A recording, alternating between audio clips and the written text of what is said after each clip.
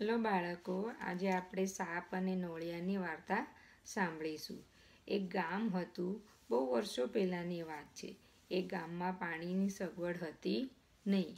એ ગામની સ્ત્રીઓ પાણી ભરવા માટે દૂર દૂર, નદી કિનારે અથવા તો સરોવર કિનારે અથવા તો કોઈ કૂવે પાણી ભરવા જતા હતા.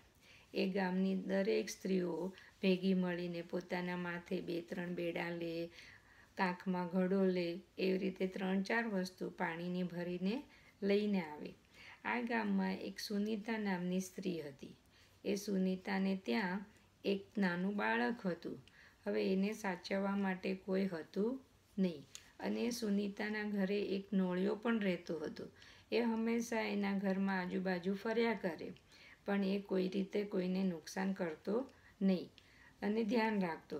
સુનીતા પણ એ નોળિયાને ખાવાનું ને એવું બધું આપ્યા કરતી હતી અને એના બાળક સાથે એ રમ્યા પણ કરતું હતું.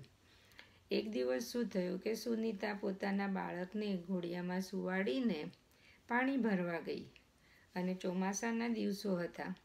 થોડેક દૂર એ કૂવા સુધી પાણી ભરીને આવી. પોતાના માટે બે બેડા હતા, હાથમાં ઘડો હતો અને ઘરે આવીને જોવે છે તો નોળિયો એને સામે મળે છે. સામે મળે છે ને? તો એણે જોયું કે નોળિયાનું મોઢું તો લાલ છે. એને તો એમ થયું કે નક્કી આ નોળિયો મારા બાળકને મારીને ખાઈ ગયો કે શું? એને તો ખૂબ ગુસ્સો આવ્યો. એને તો પોતાની પાસે જે ઘડો હતો ને, એ ધબ દઈને નોળિયાના માથે નાખી દીધો. અને નોળિયો તો ત્યાં ને ત્યાં મરી ગયો. પછી બાઈ દોડતી ઘરમાં ગઈ. ઘરમાં ગઈ તો એને જોયું તો ઘોડિયામાં તો એનું બાળક હસતું રમતું હતું. અને પણ જોવે છે તો શું? બાજુમાં એક મોટો સાપ છે એ મરેલો હતો. આ જોઈને બાઈને બહુ પસ્તાવો થયો કે આ નોળિયાએ તો મારા બાળકને બચાવવા માટે સાપ સાથે ખૂબ લડાઈ કરી અને સાપને મારતા મારતા એના મોઢા પર બધું લોહી આવી ગયું.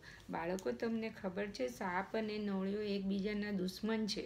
સાપ છે ને, નોળિયાને ફૂફાડો મારે ને તો નોળિયો એક એવી વનસ્પતિ છે નોળીને. નોળી કરીને. તો એ નોળવેલને સૂંઘી આવે ને તો એનામાં પાછી તાકાત આવી જાય.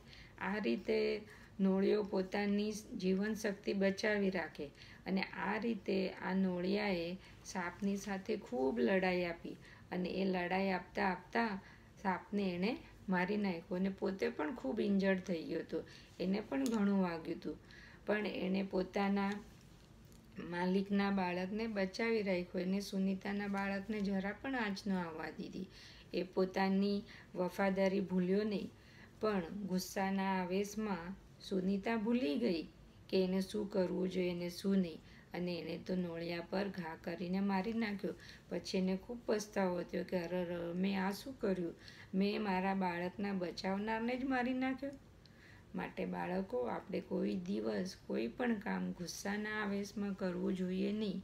ગુસ્સામાં કરેલું કામ આપણને આખી જિંદગી પસ્તાવો કરવાનો અવસર આપે છે. માટે આવા અવસરથી આપણે બચવું જોઈએ. ચલો ત્યારે ફરી મળીશું બીજી વાર્તા માટે.